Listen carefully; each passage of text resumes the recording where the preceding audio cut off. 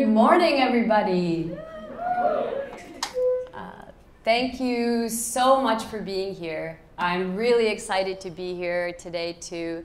And like Katrina was saying, the story I want to share with you today is about the Wounded Knee Memorial Ride that I've had the honor of participating in the last four years. Um, and before we get started, I wanted to make some of my intentions clear today. Um, a lot of what I'm going to talk about is about painful events in the past, um, and they're sensitive topics too.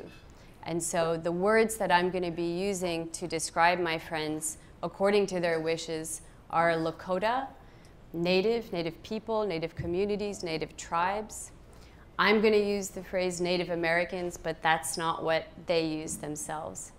And I want to invite you um, and invite your understanding as well. If you are from a Native community yourself, and this is not how you want to be referred to, I invite you to please share with us at the end of the talk. And so, to get started, I want to tell you how this journey started for me. And what brought me to Wounded Knee several times now was actually a book, Bury My Heart at Wounded Knee. And I'm just curious uh, has anybody read this book? I think it, nobody. Over here, okay, okay, great. Well, I urge all of you to read this. Um, what this book documents is the last half of the 1800s, and in one uh, review, it says it tallies up all of the murders, all of the massacres, the broken treaties that ended up leading to Native Americans being essentially forced onto reservations. And for me, after reading this book, the world really changed for me. I was completely heartbroken. I was appalled. Uh, and I was ashamed that this happened in our country and that I didn't know about it. Um, in addition to this, I was also deeply, deeply moved and inspired reading the words of the Lakota chiefs and other tribes, chiefs, and individuals. They spoke to me with a sense of dignity and connection and community um, that revealed something that was missing in, in my life. And I can't really describe exactly how I, or why I was so deeply impacted. Just at that moment, I felt like there was a hook in me, and all I could do was, was go forward and follow that. So I started reading everything I could about Native American culture, history, stories over the next two years. And at times that was all I could think about, it was all I could talk about with friends. Um, and at one point, I think my mom, I think she curiously asked, Ziggy, what is this obsession about? And I thought, you know, she's right. What, what good does it do just to continue reading and reading when there are people from these communities living out there? And I got to learn more also about the challenges that are still deeply affecting reservations today alcoholism, drug use, poverty, disease. And I thought, I need to do something. And so in the summer of 2015, my partner and I, Jeffrey Schwinghammer at that time, uh, an incredible man, we decided to just get in the car and drive out to Lakota country, which is Wyoming, South Dakota, Montana, and just with the intention of let's learn as much as we can, let's try to connect with people and be in support if we can. And so we threw a few historical markers on the map, and then we got in the car and just followed our guts. And that led us to, to many places. Um, it was a wonderful trip, but the trip changed at one point when we, um, we went to Wounded Knee. And and actually, a, a book I was reading at the time was this one. I don't know why, but I felt like I needed to show you the actual books. It, it's called Mitakuye Oyasin, and it's by Dr. A.C. Ross. And so in this book, he, Dr. Ross talks about the vision quest. And I just got it in my mind like, I'm going to have a vision quest on this trip. I don't know what it is, but I'm going to have it. And so, so that day that we were at Wounded Knee, just after we, we left and we went to Red Cloud's grave at the Red Cloud School in Pine Ridge. And leaving the grave, we saw a bulletin board. And on the bulletin board, there was a flyer. And on the flyer, it said, Bearing Witness Native American Retreat, set to start the next day for several days. And a list of speakers on that, on the list of speakers was the author of the book. And so I thought immediately, Vision Quest. And so I went there the next day and I found myself in, in this great valley in the Black Hills. And we were with the Zen Peacemakers International group with a few hundred people from all around the world who had planned to be there for over a year. And they had a reading list over the year. And I looked at the list and I realized I had read everything on the list. And so I felt like I'm supposed to be here. And over the next few amazing days, I met incredible people. We attended prayer circles, healing groups, we heard speakers. And on the last day, my partner and I, my partner at that time and I, we volunteered to take care of the ceremonial fire that had to be constantly lit the whole time.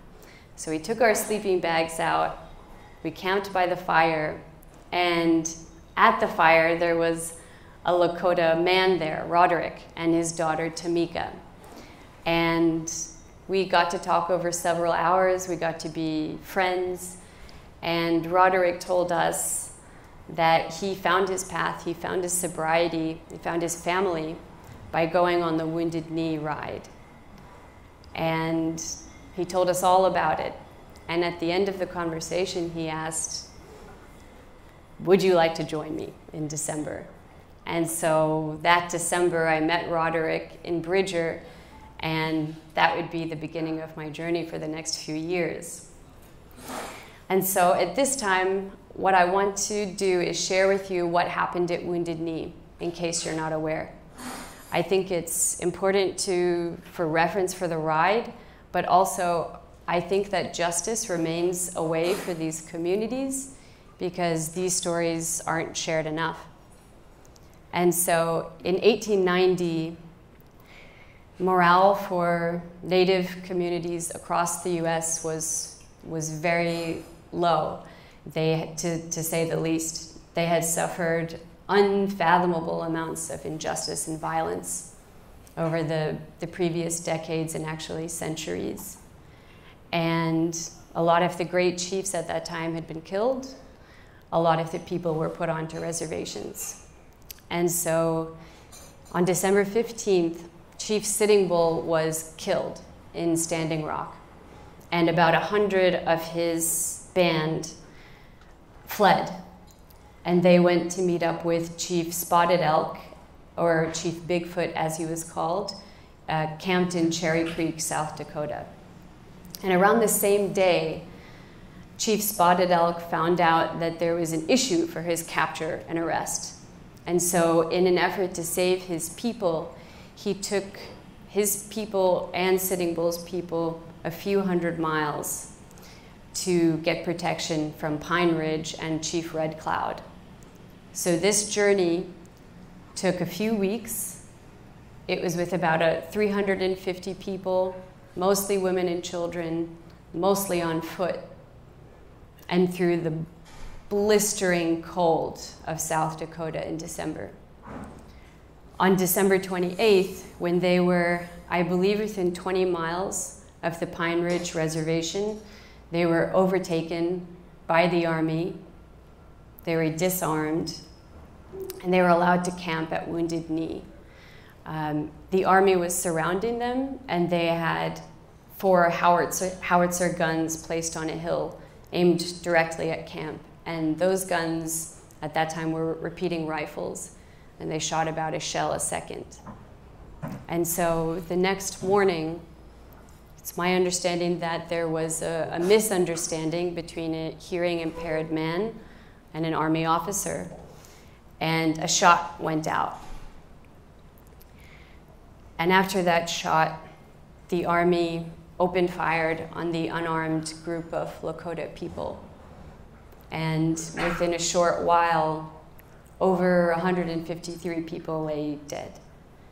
There were some survivors, but because of people getting wounded and trying to escape that may have died in the snow, a lot of people put that number higher. And so the ride the ride is to now commemorate what happened. It's to honor those that died and to try and heal the sorrow that happened. And I also want to say that even though the ride is to, it symbolizes and honors something so tragic, it's also extremely positive. It brings the whole community together. And it's a way for people to connect now in, a face, in the face of something awful that happened. And so the ride was started in 1986. And it started off with just a few people, I think five people in 1986. And it was meant to last four years, which is a sacred number. And after the four years, it continued though. And since I've been on it, the ride starts with about 25 people from Standing Rock and as we go along, more and more people join in along the way. So that by the end, last year we had about 175 riders ride into Wounded Knee, which was amazing. Some of the riders are as young as nine years old. And the grit of these kids is unimaginable. Um, and also, the whole community comes along. So it's not just the riders, but it's the kids and the families and the friends all coming along to support. Um, here's a picture of serving lunch one day. Here's another picture of us riding out. And so along the ride, we have the riders mostly going cross country, and then a huge caravan of horses, trailers, cars, following on the main roads all along the way. And here we have in the morning. So, in the morning before we get started, since this is a sacred ride, what happens is the horses and the riders all stand in a great circle with an elder in the middle, with the staff carriers saying a prayer and saying a blessing for that day. And here's a picture of the staff. And the staff carriers are hugely, hugely important. It's believed that the staffs hold the ancestors and the spirits in them. So the staffs lead the way on the ride. No one is allowed to pass them. The staffs are meant to be held with honor. And even the young kids hold them, and it's, it's just a huge honor to be a staff carrier. Here is another photo of the staffs.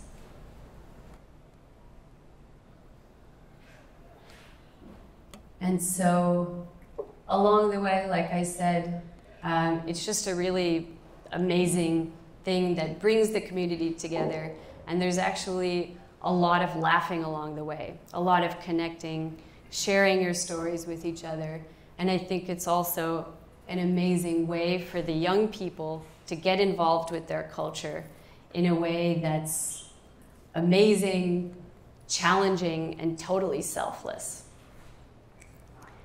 And so I'd like to share with you a bit about my experience on the ride and my first year. If I were to sum it up, if I were to give it a title, I would call it Cold and Afraid. that's that's what I was. I was a lot of other things. I was hugely inspired, excited, but mostly cold and afraid. the cold was unlike anything I have ever experienced in my life. I think on the first year it got down to negative 30. And so if you're not moving, if you're not on a horse, in two minutes your hands are completely frozen no matter what you're wearing on them. And I was wearing about three pairs of gloves, two pairs of socks with a plastic bag, and then snow boots. I felt like, uh, like a baby bird, just totally defenseless out there in the cold. And I was also, if I'm honest, really intimidated. I was constantly thinking, am I eligible to be here? Um, am I going to mess things up? Am I going to cause an injury while we're riding? And that's quite a serious thing to happen in, in those conditions. And it was kind of like if, if you're around 100 people that you have a crush on. That's what it was like for me. I was just wondering, is, is anyone going to like me? Am I going to be accepted? Or am I just going to be hated? So pretty much I was just, I was stuck in my own head. Um, but the first time I rode is an experience that I will never forget. Um, when, when you go and you don't have a horse of your own, you jump on a horse that's free if someone has one. If someone gets injured or if someone needs a break, then you can get on as well.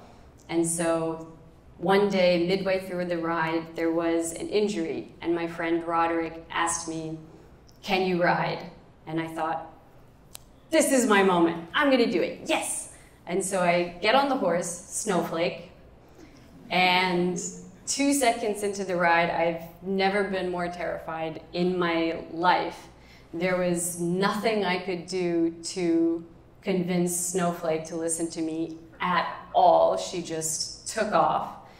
And, and I had taken lessons before coming. I've also used to ride when I was a kid. And riding a lessons horse around in a circle is not at all the same thing as riding a fire-breathing dragon over frozen cross country. And Snowflake was a dragon. Actually, the, the first time that I saw, or the time that I saw Jon Snow riding the dragon for the first time, I was actually like, I know exactly what that feels like. Sorry, Anne. Maybe they'll have the spoiler alerts on the online speech. but that's what I felt like, and I was, I was equal parts terrified and mortified. I know I looked insane. I was bouncing all over the place, and I, I was literally just hanging on by a hair the whole time. And it, it was really all I could do not to just continuously scream, but I didn't. I made it in, and I was completely just shook emotionally, spiritually, physically. And by a miraculous act of kindness, Victoria, Roderick's wife, came to me later and she said, Ziggy, everybody is really proud of you. And that was extraordinary. Um, but I still, for the next few days, I just kept my head down and focused on cooking, cleaning, setting up camp. And over some time, I was able to, to let go of what I thought I was supposed to look like and just be there for the experience. And so it may have sounded really awful, but I, I, was, I had an amazing, amazing time. And the last day, coming into Wounded Knee, another amazing thing happened. Um, we were at a stopping point, and I was watching the horses come in.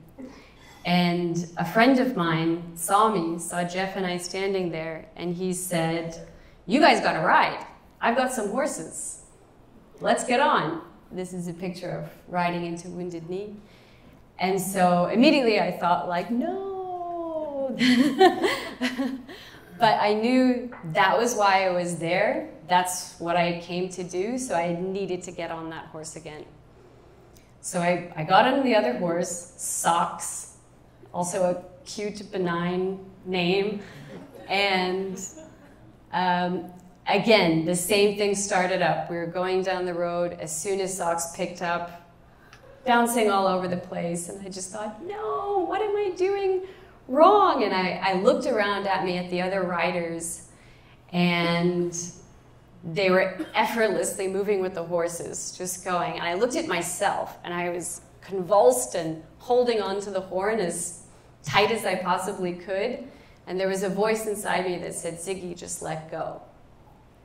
And so I, I did, I let go. And all of a sudden, my body just fell in rhythm with the horse. And I was moving with it, and it was the most magical feeling. And as I was feeling so amazing, all of a sudden, the gravity of the moment hit me about what was happening when we were riding in. And that was that so many years ago, Spotted Elk's people were riding in the same day on the same path after going through challenges so much greater than ours, after having suffered so much.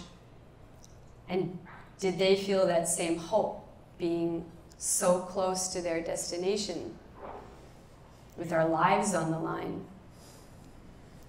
Not knowing that the next day, within a day, they would be captured and, and killed nearly all of them in the snow.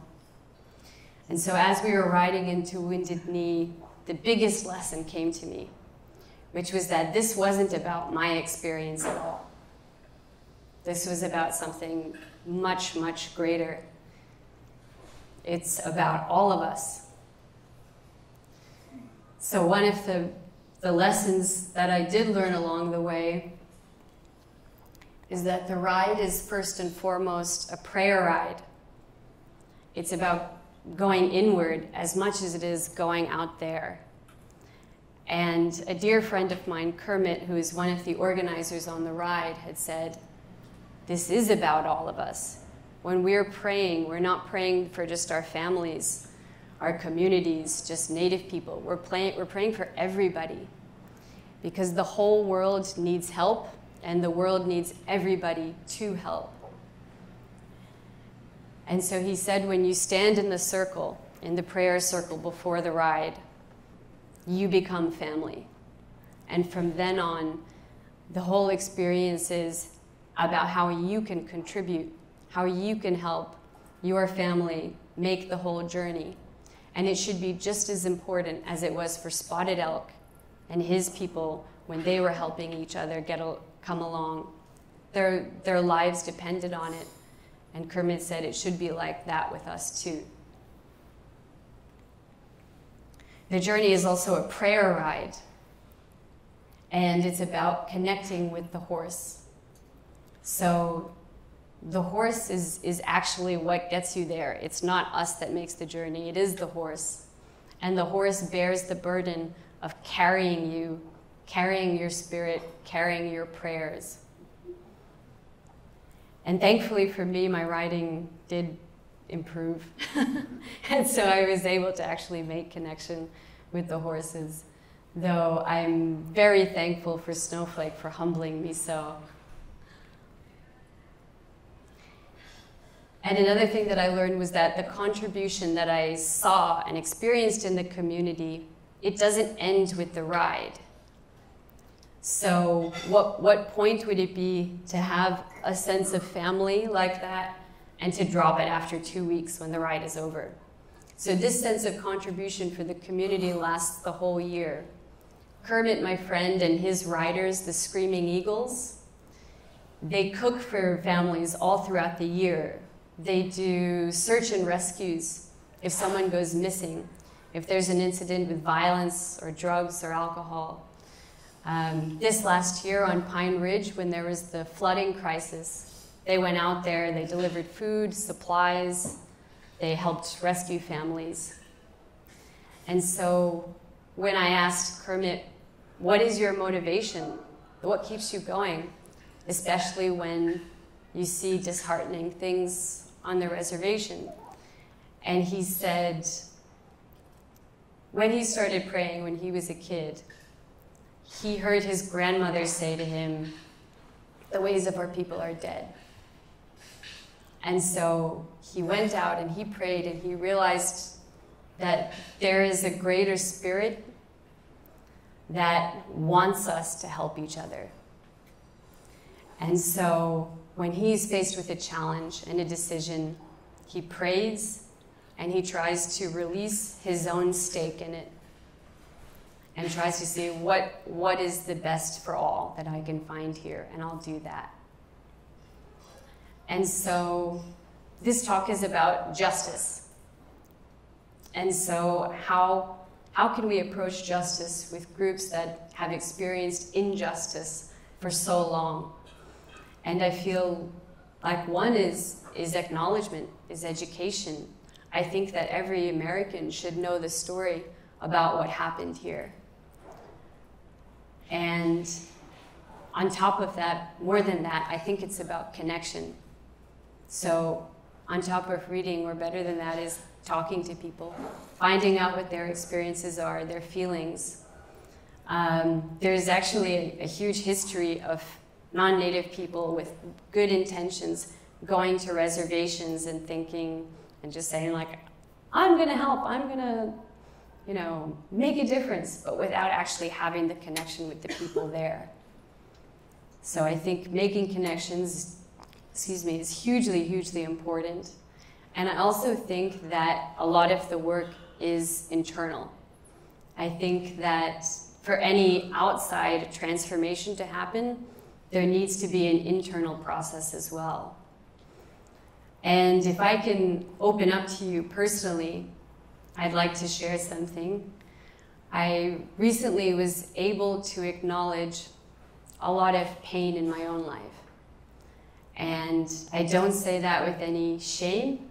I don't think I'm alone in that. I think probably like a lot of people, I think, well, my life circumstances are so much better than a lot of other people, so I'm good.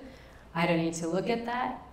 But recently I was able to do a, a self-development training and I just saw how much my past experiences were filtering, were coloring my present experiences. And I think a course to that is to change course is to examine what's there, to feel it, to acknowledge it, to let it go so that you can be present for your life and more present for the things that you want to contribute to. And what I really learned was that for me, I am only as free as the extent to which that I'm able to let go. Just like what happened on socks riding into Wounded Knee. And so I, I'm not saying I've mastered that or that you should master yourself and get yourself sorted out before you go into contribution, but I think that your efforts will be much more successful if you're present for them, if you're not bringing a ton of baggage with you, and if you're not solely focused on your own experience. And so I urge you to do some internal housekeeping. and housekeeping is emotional work. And it's, but it's always much, much more difficult thinking about it than it is actually doing it. And it always feels better afterwards.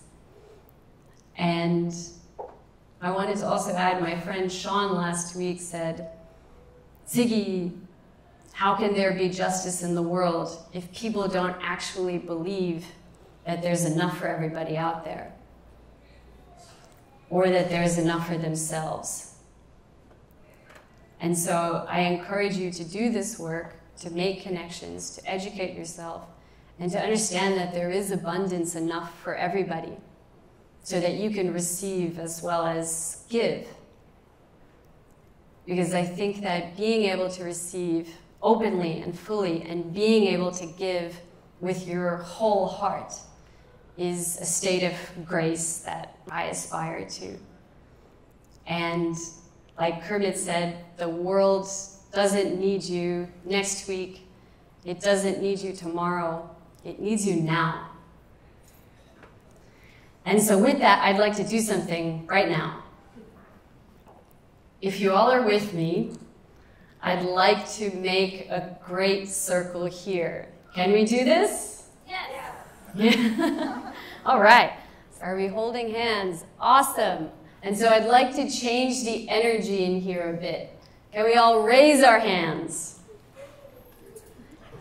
Yes. and answer me if you're feeling it. Can we change the world? Yes. Can we change ourselves? Yes. I can't hear you actually. Can we change ourselves? Yes. Are we connected? Yes. We are connected. As Kermit said, once you step into the circle, you are family.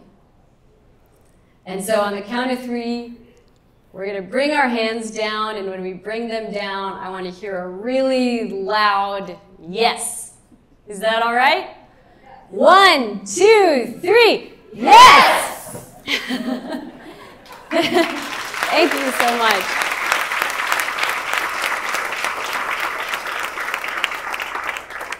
And I'd like to share finally that on the last year of the ride, on the last day, one of the elders stood up in front of all of us and asked, Why are you here? If you keep coming back here year after year, time after time, are you just getting an experience out of this? Or are you contributing something? And that stuck with me. And when the opportunity for this speech arose, I thought if I could share the story of what I've experienced, and if any one of my words could plant a seed in any one of you to either contribute to support the Lakota community or to contribute to anything that you believe in, then this would be worth it. And so I thank you again, and I'd like to close with the words that we use in Lakota to end every prayer, which means we are all family. Mitakuye oyasin. Thank you.